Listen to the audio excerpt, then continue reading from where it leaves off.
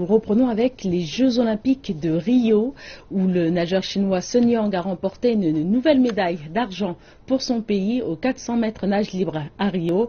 Euh, le champion chinois de 2012 a été dépassé par l'Australien Mark Horton, chronométré à 3 minutes 41 secondes 55. Euh, Sun Yang a semblé un moment mené sur l'Australien, mais n'a fini euh, que deuxième à 3 minutes 41 secondes 68.